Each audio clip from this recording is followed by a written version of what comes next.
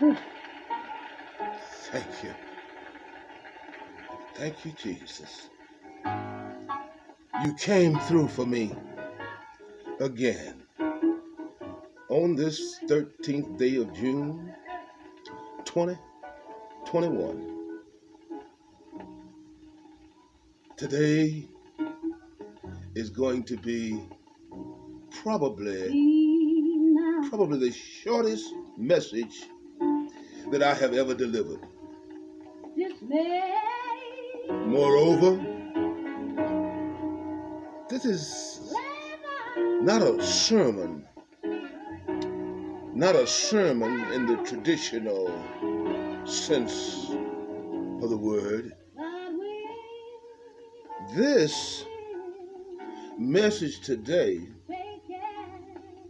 is strange.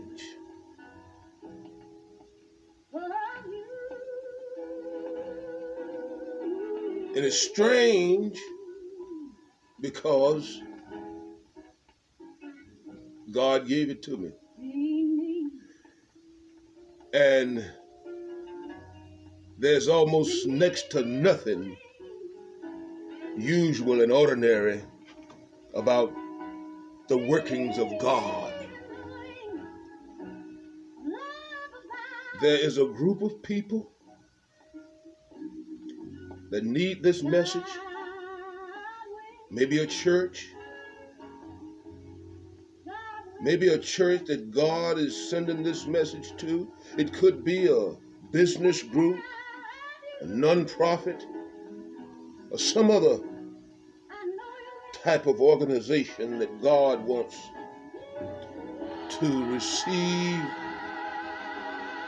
this strange message today. This group, whoever you are, wherever you are,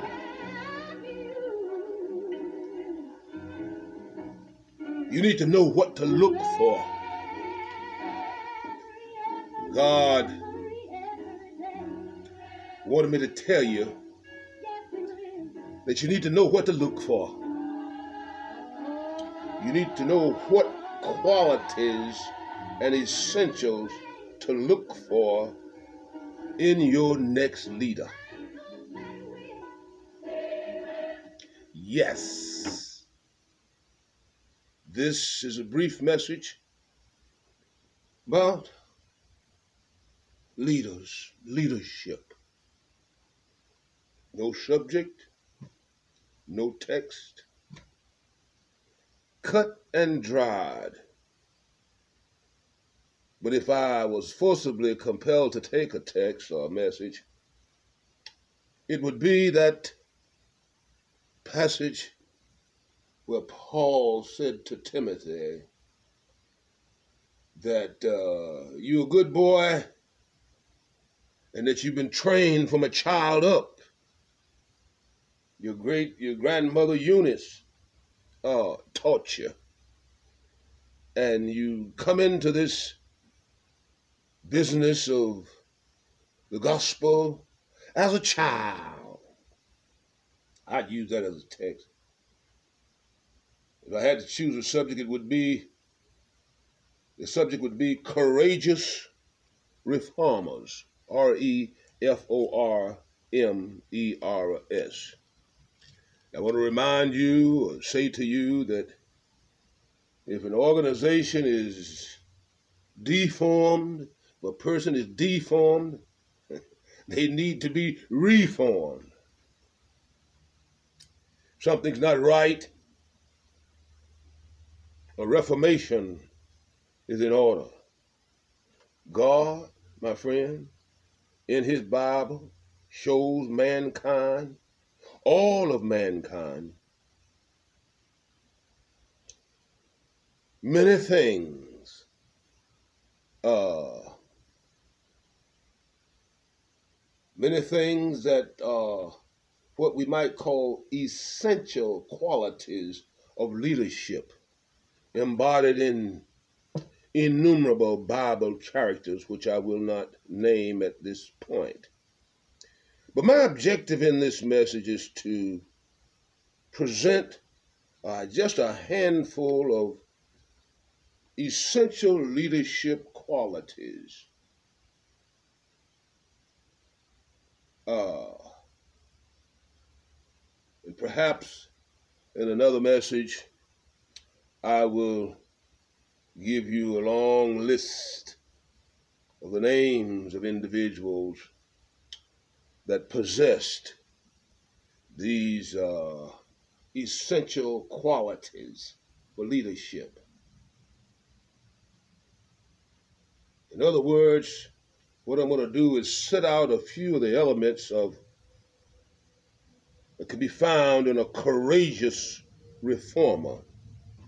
The first essential has to do with genetics. Uh, leadership has to be in your bloodline. Some things just run into the family, as in the case of Timothy. Number two, the second essential of a courageous reformer is that that man or woman must be a lover of truth. A lover of truth. Number three is the necessity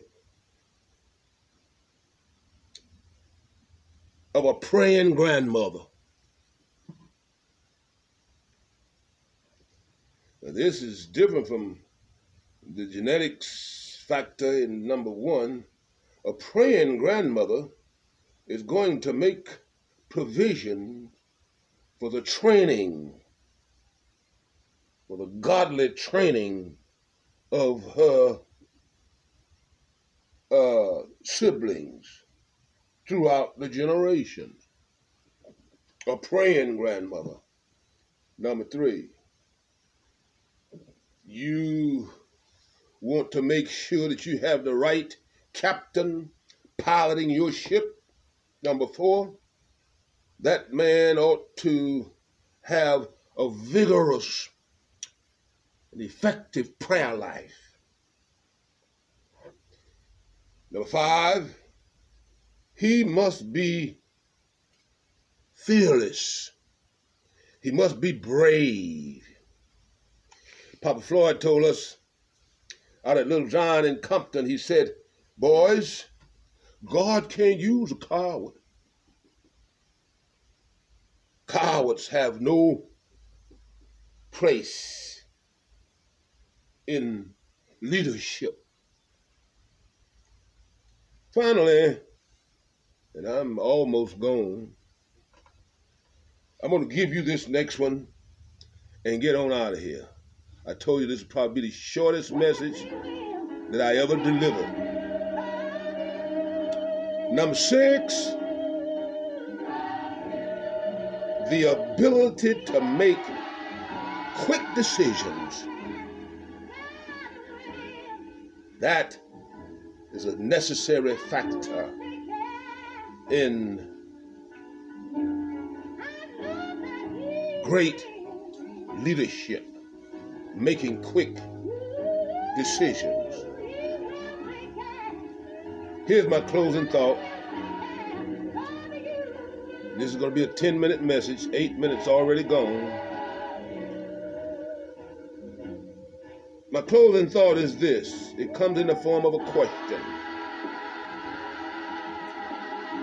What is the best time to go shopping, to go house shopping?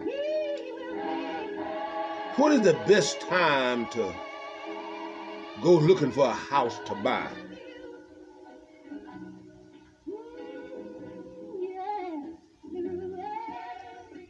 You think on a pretty sunny spring day? No. The answer is the best time to go shopping for a house, looking at a house, evaluating whether or not you're going to buy it is it ought to be rainy weather. At the best time to tell whether a house is a good buy or not. Because Water is the number one enemy to a house. Rain points out the weak spots in real estate purchases. And so it is with courageous reformers. They ought to come aboard amid a crisis.